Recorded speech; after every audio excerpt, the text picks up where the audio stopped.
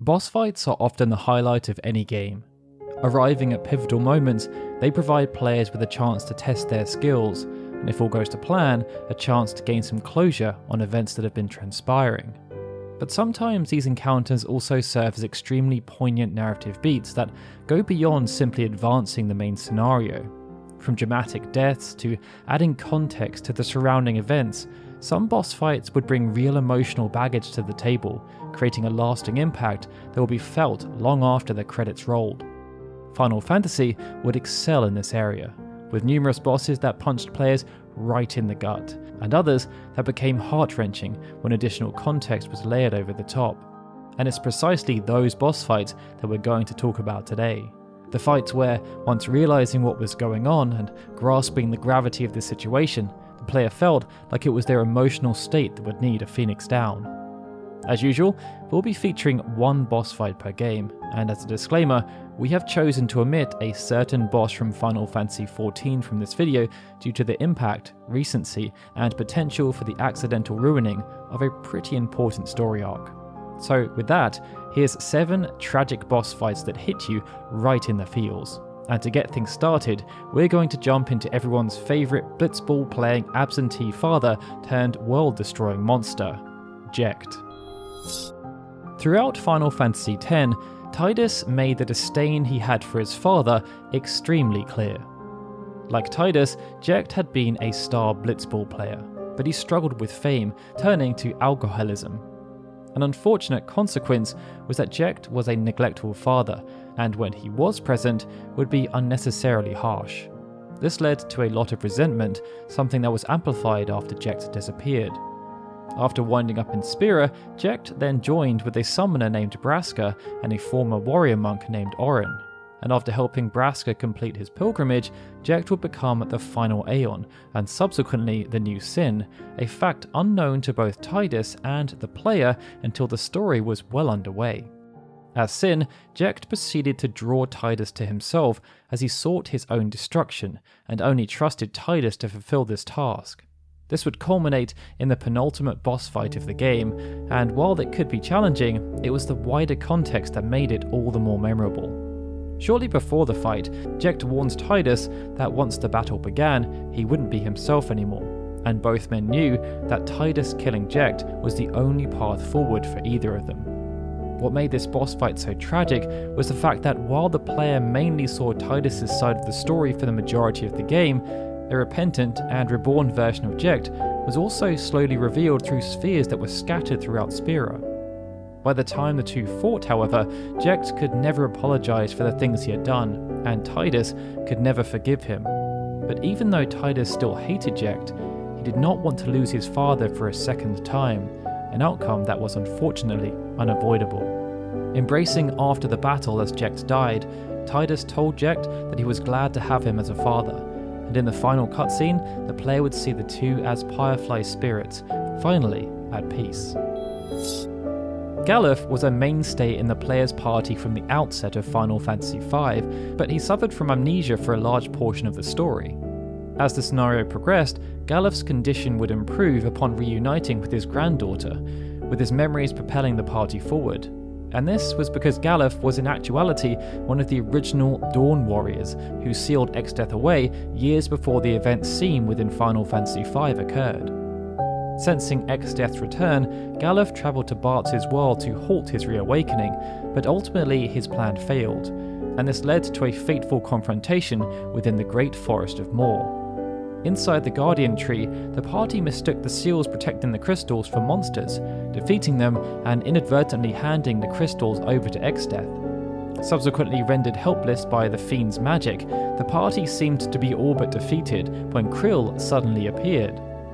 Ever the sadist, Exdeath focused his assault on Krile, something that gave Galuf the strength of will to break free and attack Exdeath head on, while the rest of the party watched unable to act.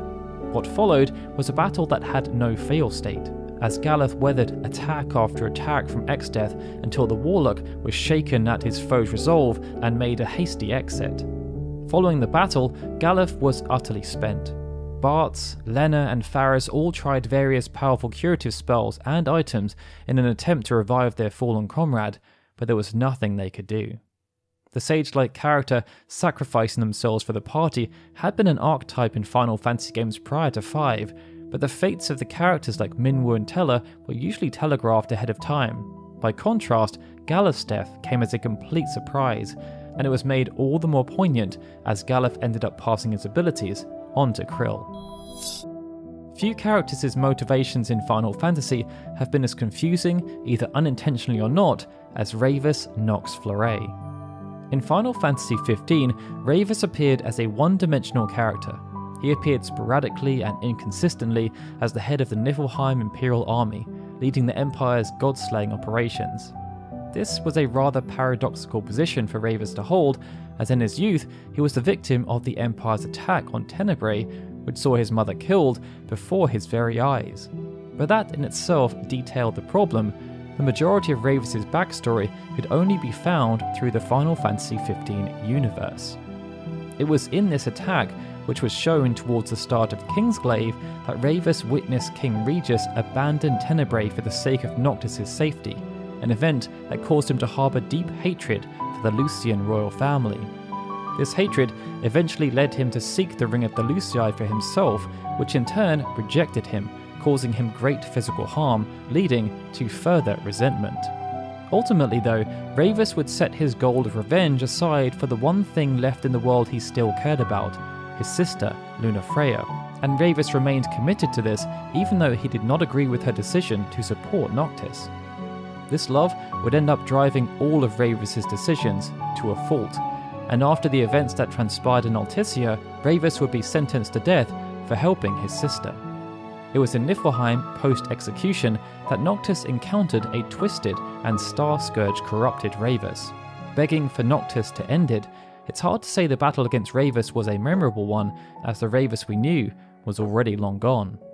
Dying alone, his sister dead, and with his desire to do the right thing horribly mutilated, Ravus's story was compelling and incredibly depressing. It was just such a shame that so much extra work would be required on the part of the player to piece everything together and make the story one that actually had some meaning. Bereft of any positive role models outside of the movies, Seifer Almasy would grow up to be a misguided and occasionally cruel young man. After joining Balamb Garden, Cypher would continue to act out, spurning his talent to earn a reputation of being a troublemaker. This would then be witnessed firsthand as Seifer's brash leadership style led him to not graduate alongside his peers. Lacking a clear path, Seifer decided to follow his dream, becoming a knight for the sorceress Edea, something that would lead to numerous clashes against Squall. But by the time the player squared off against Seifer inside the lunatic Pandora, they found him dishevelled, manic, and desperate. A thrall for the sorceress Ultimecia, who had even been disowned by his own friends.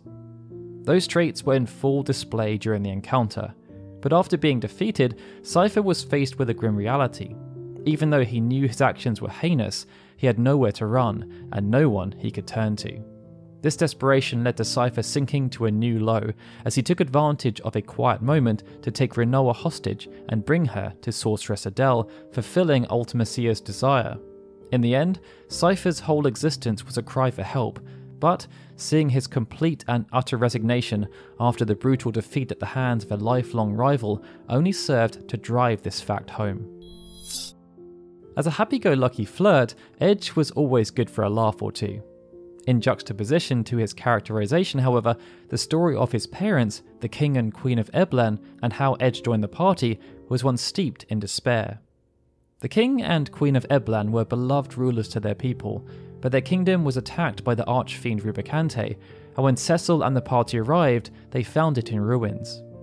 While the populace was in part able to flee to the nearby cave of Eblan, the king and queen were unfortunately abducted in the attack, leading Edge, their son, to mount a counter-offensive against Rubicante out of revenge.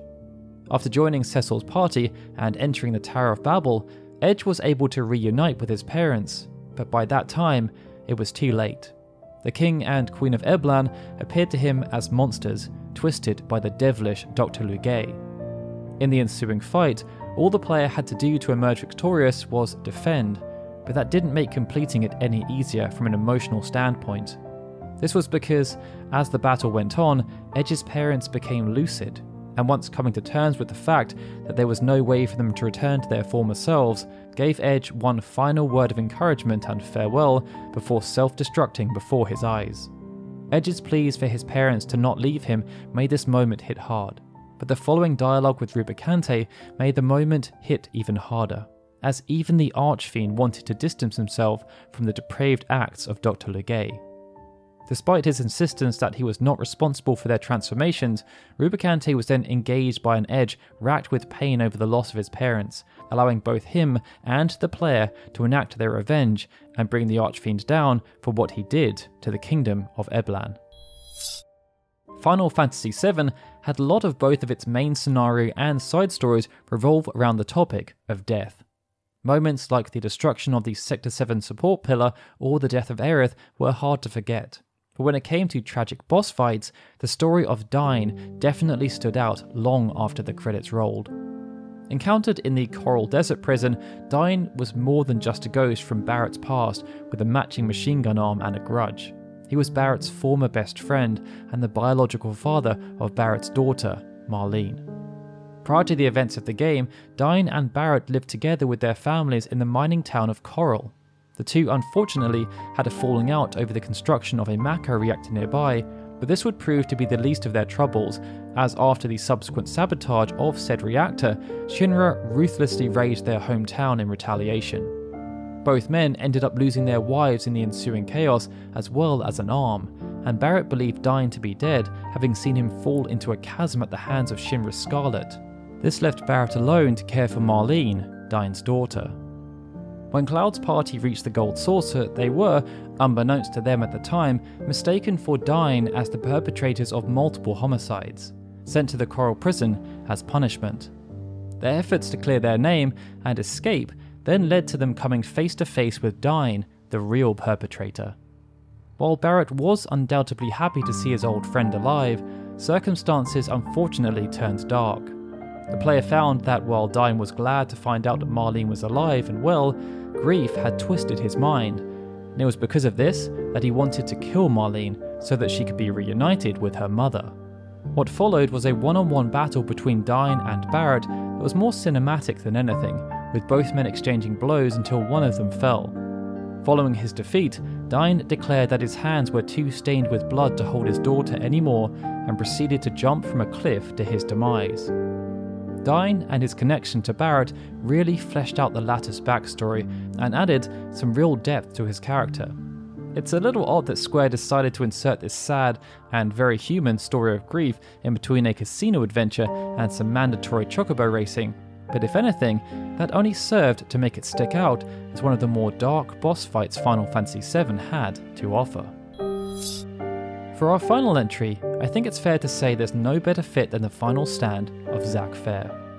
As a finale to a Final Fantasy game, this battle stood out for many reasons.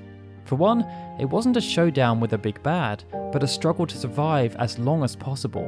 It also incorporated gameplay mechanics in a way that had never been seen before, and perhaps the most intriguing reason was that those who had played the original game already knew the fate of Zack Fair, and being forced to play through his final moments was rather heartbreaking, especially as it also kind of felt like you could defy fate by playing well.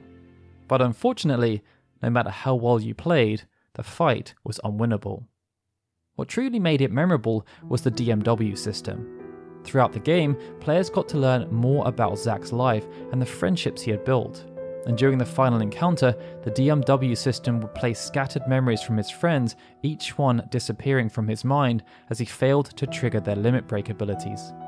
A sign of his fatigue from fighting and running, this was an extremely potent reminder of his situation and really drove home the tragedy of the event. The final face to remain in Zack's DMW at the end of the fight was Aerith's, a testament to his feelings for her.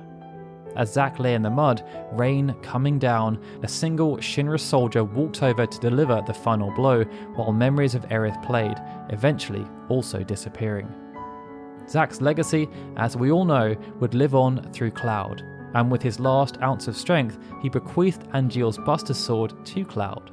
The game then ended with Zack asking the player if he became a hero, and if you could make out what he was saying over the sound of your own sobbing, we think you tell him that he did.